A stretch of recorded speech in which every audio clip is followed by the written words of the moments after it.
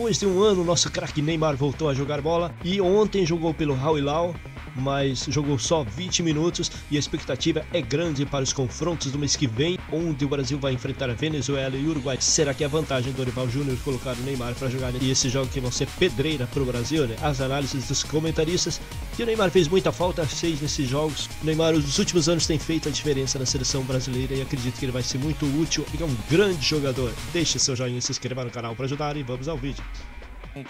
Do que você observou do Neymar ontem? É, eu assisti é, primeira coisa, que é muito. Eu vou usar a palavra curiosa, mas assim, eu acho que é até um pouco lamentável, porque você está assistindo o jogo, só tem homens no jogo, no, na arquibancada. Homem, homem, homem, homem, homem.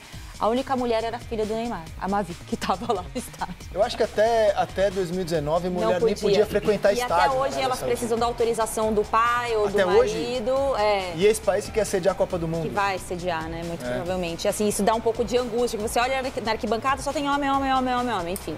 Não é importante é, você falar isso, é importante. É, não, eu, eu, fiquei bem impressionada. E assim, eu gosto de assistir esse campeonato porque eu quero saber por que, por que tá todo mundo lá? O Malcolm tá lá, o. o Marcos Leonardo. Marcos Leonardo, exatamente. Tem vários jogadores lá. E ontem foi um duelo do Crespo contra o Jorge Jesus. Jogo muito maluco, 5x3, assim, uma coisa louca. Um futebol muito o, maluco, é. Não, é, não, é, é, não dá, não, gente. 5x4, 5x4. É, o nível, né, Ana, que é, a gente é acostumada a ver aqui. Não pega a nossa não, Série B, não. Não, é, não somente aqui, mas se você pega a Premier League, não tem nada a ver com o futebol disputado, não aqui, mas ainda mais nos outros lugares.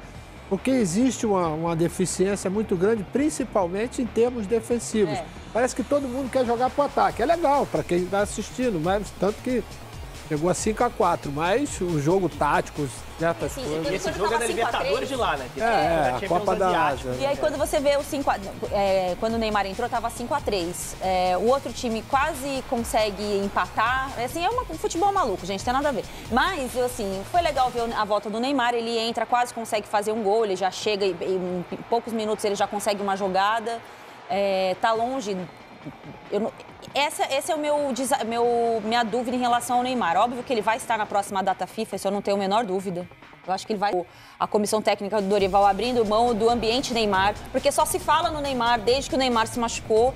Então, eu acho que não vejo como, conhecendo um pouco do que está acontecendo ali nos bastidores da seleção, ele estar fora da próxima convocação. A não ser que ele se lesione novamente e Deus queira que não aconteça. Mas ele 50%, 20%, 10% ele vai ser convocado.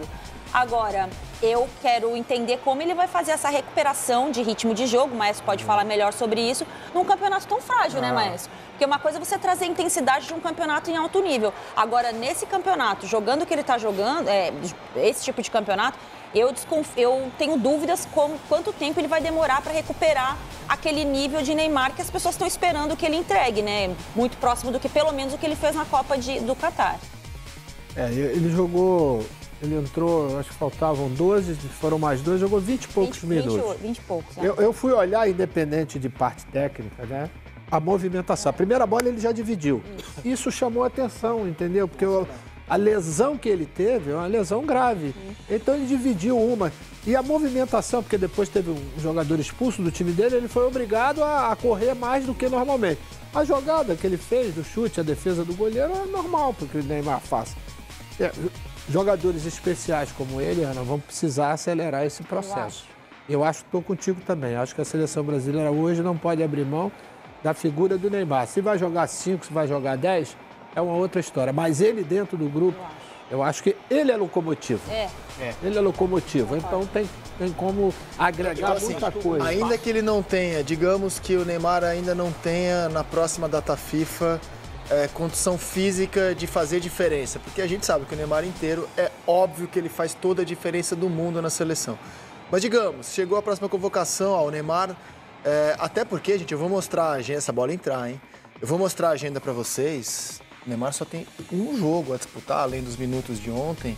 Só tem mais um jogo a disputar até a próxima convocação, porque o clube, essa é a agenda do Al Hilal.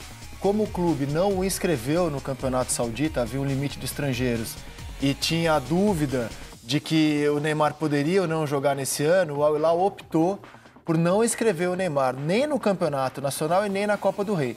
Então ele só joga a Liga dos Campeões da Ásia, né, cujo, cujo único jogo que ele vai ter até a próxima data FIFA é contra o time iraniano é, o Steglau no dia 4, ou seja, na melhor das hipóteses, o Neymar vai ter é, num jogo, 90 minutos a disputar até a próxima convocação. Nesse jogo. Então, Essa é a minha 45 dúvida. é Por isso que eu é pergunto, eu fico dúvida. Como ele vai pensando. se recuperar tec- eh, tecnicamente, não, fisicamente, com um ritmo de jogo para estar no. Para partidas fisicamente duríssimas. Venezuela fora de casa. Ou alguém acha que os venezuelanos e uruguais vão aliviar pro Neymar? Já foi Os caras vão tempo. procurar Já saber foi qual é o tempo, joelho, né? inclusive, né? Então essa é a única dúvida, assim, será que vale a pena colocá-lo em campo nesses jogos, assim, meio parecer questão de vida ou morte, ou só trazer o Neymar para tê-lo na seleção? O que a Ana falou é muito importante. Que é a questão do ambiente que muda com a presença dele. E eu acho que tem uma outra questão Mas porque também. a seleção tá sem referência, Tá né? sem referência, Ela tá sem líder. sem confiança, Tá tá, sem recuperando líder. isso devagarinho. Tá a última data líder. FIFA já ajudou bastante. O- o- acho que o que o- aconteceu ontem com o Neymar foi um passo muito importante para a recuperação de lesão longa, que é a recuperação psicológica. Ele ter entrado no campo de novo, numa partida, participado um pouquinho, quase ter, ter feito o gol, pô, isso acelera a recuperação, o condicionamento. Agora ele já vai se sentir mais à vontade para treinar também. Não vai precisar fazer só atividade condicionada, não tá mais em recuperação, ele vai começar a se sentir parte do grupo. Então acho que tem um peso muito grande para acelerar essa, essa recuperação do Neymar do ponto de vista psicológico. Foi ótimo ele ter conseguido entrar, ter se sentido confiante para participar de jogada, ter quase feito o gol, sentido gostinho, né, de voltar, voltar a marcar. Então acho que foi uma ótima notícia o que aconteceu ontem ah, na tarde e noite, né? Noite lá na Ásia e tarde aqui no Brasil. E acho que pode ser importante para ele é, ter calma, né? não ter essa sequência de jogos, pode ser importante para ele ter calma para no próximo jogo apresentar mais evolução. E se for o caso, ficar fora da próxima data FIFA. Por mais que eu considere o que a Ana falou absolutamente importante, pode ser para ele também importante voltar ao convívio. Eu acho que é melhor ele voltar quando tiver 100% ou mais perto disso. Até para ele se sentir mais igual aos companheiros de seleção, mais capaz de interferir na seleção tecnicamente. E aí é, é importante ter calma. E a classificação da eliminatória, Rizek, depois dessas últimas duas vitórias, dá um pouquinho mais de conforto para esperar o ano que vem. Eu acho que, que não há necessidade de antecipar muitas etapas com o Neymar. E ele é um jogador que, quando estiver pronto no ano que vem, protagonista. Vai entrar e vai ganhar muito espaço na seleção do, do Dorival. Certamente a comissão técnica está seguindo, está no controle exatamente, como o Dorival até falou, né? Uma das coletivas dele, dizendo que eles estavam seguindo né, todo esse, esse processo de recuperação do Neymar. Fa- fazer um comentário que me parece meio óbvio, mas que é o seguinte. Neymar divide muito. Não tem ninguém que passa batido pelo Neymar. As pessoas amam ou odeiam o Neymar, mas acho que ninguém duvida que o Neymar é um cracaço de bola. Mas a ausência dele na seleção, eu acho que ela provocou a única unanimidade desde que o Neymar é Neymar, quando, quando a gente fala esse nome no futebol brasileiro. E foi só na ausência, porque mesmo ele jogando pra caramba na seleção, se tornando o maior artilheiro, o jogador com o maior número de assistências, havia pessoas que, no meu entendimento, pelo gosto pessoal, não, Brasil sem Neymar agora, vamos seguir a vida, porque tecnicamente eu nunca vi razão para afirmar algo semelhante a isso. E na ausência do Neymar se produziu a única unanimidade em torno dele. Não dá para ter seleção brasileira hoje sem o É Neymar. porque é Neymar e tudo o resto, né, Exato. gente? Existe uma Mas lacuna é- muito mas até grande quando do ele nosso jogava- principal jogador hoje pro Neymar. Mas até com ele jogando, e jogando bem as Copas É. do Mundo, jogando bem as eliminatórias, se tornando o maior artilheiro da história do Brasil, é, eu via muita gente achar, não, gente, vamos seguir a vida sem Neymar, agora já deu, já passou.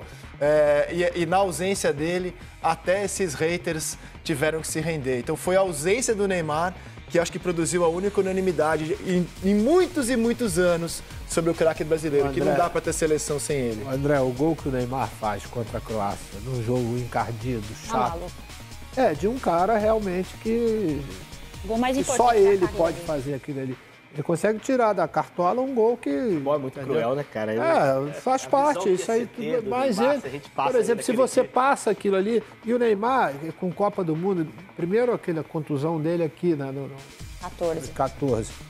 Né, não consegue encaixar. No, na- no período que ele estava fisicamente querendo, né? A gente acompanhou demais, né, Ana? Treino, tudo isso, a gente via né, que ele estava. E chega no jogo contra a Croácia, ele faz. Quer dizer, um E gol contra a antológico. Sérvia na estreia, Sim. né? É, é. torção. Em 18 ele chegou pós-cirurgia, tinha operado o pé, né? Um pouquinho antes, chegou em cima da hora. É, é ele tem tempo, pra Copa ele tem tempo. Então, assim, é preparar pra ele estar bem em 26. Eu acho que o trabalho tem que ser pra lá. Agora, sim, eu, eu, eu penso duas coisas. Primeiro, eu comparo muito, não a lesão, mas o retorno dele é, com outros jogadores que voltaram lesionados para a seleção e encontraram na seleção um ambiente de recuperação, como o Ronaldo Fenômeno. Rivaldo também. Rivaldo, não- não estou comparando os dois, tá, Claro, gente? Estou perfeito, comparando perfeito. os retornos pós-lesão. Eu acho que isso pode ser importante pro Neymar. O Neymar nunca abdicou da seleção, ele teve inúmeros problemas, inúmeros questionamentos, mas ele nunca foi omisso com a camisa da seleção brasileira.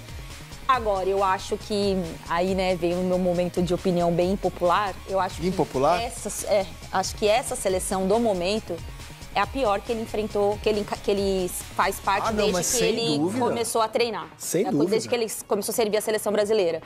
Então, assim, é, se o Neymar no auge teve dificuldade com uma seleção melhor, eu quero entender como é que vai ser esse Neymar hipotético, mais velho, com uma depois de uma lesão gravíssima, com uma seleção pior, entendeu? Essa conta, claro que é só o tempo que vai nos dar a resposta, mas essa conta que eu não consigo colocar tanta responsabilidade nas costas dele, porque o que, eu mais, o que mais a gente tem escutado, né, Maestro? Todas as coletivas de seleção, desde que ele se lesionou, poxa, mas quando o Neymar voltar, né, criou-se a figura do famoso Neymar hipotético, que ele faria isso, ele resolveria aquilo. Eu até acho que ele faria tudo isso mesmo mas eu acho que a seleção hoje ela é muito pior em todos os sentidos, desde a organização até o que está no campo, para ele performar depois de mais de 30 anos, voltando de uma lesão gravíssima.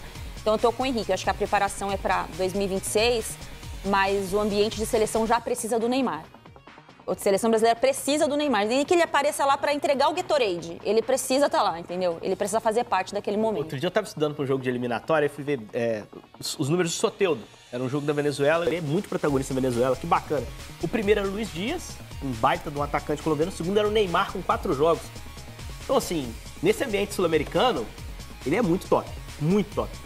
Agora, é questão física, assim, até pelo que a Ana acabou de falar. É a pior seleção que ele... Ele vai ter que ajudar a melhorar ela. E- e Deixando claro, a gente está afirmando isso na data de hoje. Porque a gente não sabe que será o Estevão daqui a dois anos. Isso. A gente não sabe se o Vinícius Júnior começará a jogar na seleção como ele faz no Real Madrid. Se tudo isso é Hendrick o vai Hendrick. se vai aparecer o meu campista que vai fazer uma dupla melhor do que Bruno Guimarães e, e, e Mas Paquetá. no momento, os números demonstram isso, né? Pior campanha do Brasil em eliminatórias, piores resultados da história no ano passado. né? Acho que os números corroboram é, essa opinião, que começa a se tornar mais até um fato do que uma opinião. É horrível falar isso, né? Porque a gente tá falando, Sim. nossa, o Vinícius Júnior é péssimo, o Rodrigo é péssimo. Não, mas acho que no contexto de quatro Copas, de- o Neymar disputou 14, 18 e 22, ciclo de quatro Copas, acho que essa é a pior seleção. Concordo com você. Concordo com você. A gente vai agora.